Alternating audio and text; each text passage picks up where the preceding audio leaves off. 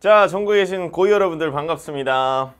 고이들아 제발 이라는 제목으로 캐스를 찍게 됐는데 어, 캐스를 찍는 이유는 따, 사실 딱 한 가지밖에 없습니다. 이 고이 냥이를 그리기 위해서 어, 선생님이 그 앞에서 찍었던 이제 그 N수 캐스, 고3 캐스 이렇게 찍다 보니까 냥이가 등장을 하고 또 고3 현역 냥이가 등장을 했어요. 그랬더니 어, 선생님 고이도 그려주세요. 그래가지고 고이냥이 고이냥이가 등장했습니다. 아, 여기 지금 이제 90점이 아니라 이제 06입니다. 제가 06 딱지 붙이고 있는 고이냥이 고이들은 지금 이제 이러고 있을 때죠.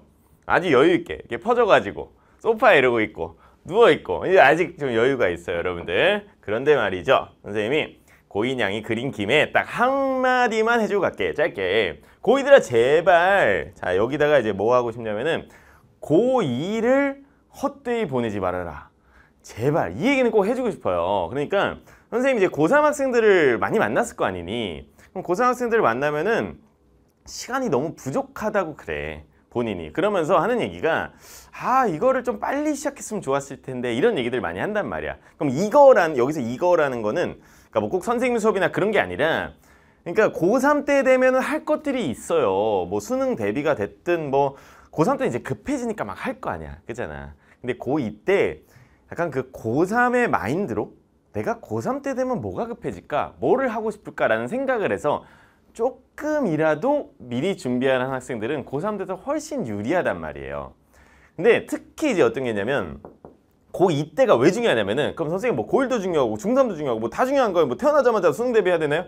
그런 얘기가 아니고 고2가 이제 중요한 이유가 뭐냐면은 학교에서 수원 수투를 할 때잖아. 그렇잖아. 그 수원 수투가 수학 시험 범위잖아. 그리고 뭐 좀 빠른 사람들은 선택 과목도 진도 나가고 막 그러잖아요. 그러니까 그 수능 시험 범위를 대비를 하는 그 시기에 내신만 챙긴다고 물론 여러분들 내신 진짜 중요해 내신 챙기는 거는 맞는데 내신 공부하는 그 방법대로만 공부를 하다 보면은 무슨 일이 생기냐면은 수원을 끝냈는데 수원의 내용을 하나도 모르는 채로 끝나는 거야 예를 들면 삼각함수 같은 걸 몰라 수원을 세번 돌렸는데 그리고 문제집도 한 다섯 번 풀었는데 삼각함수가 뭔지를 몰라 수투를 진짜 막 몇 바퀴를 돌렸어 막 문제풀이 겁나 잘해. 근데 미분이 뭔지를 몰라. 이런 사태가 되면 고3 때 돼서 되게 후회 많이 한다고요.